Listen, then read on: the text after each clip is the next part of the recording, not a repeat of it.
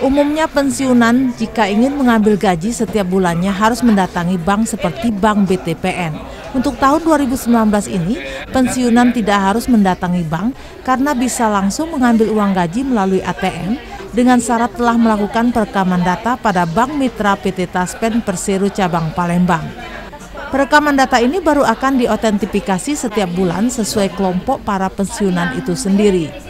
Diakui Kepala PT Taspen Cabang Palembang, Kasija, pensiunan dapat melakukan otentifikasi setiap bulan melalui ponsel Android sehingga dalam pengambilan gaji hanya melalui ATM.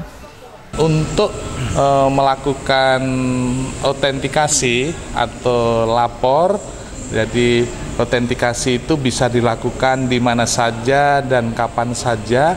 Ini bisa dilakukan melalui smartphone.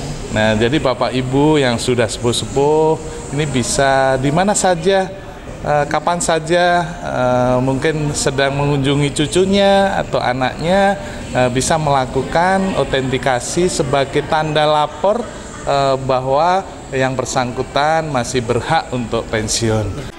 Layanan digital yang diterapkan PT Taspen Cabang Palembang akan memudahkan pensiunan dalam melakukan urusan yang menyangkut dengan Taspen. Pihak Taspen sendiri akan mendatangi rumah pensiunan yang sakit atau sudah berumur lanjut usia untuk melakukan otentifikasi. Tim Liputan TVRI Sumatera Selatan melaporkan.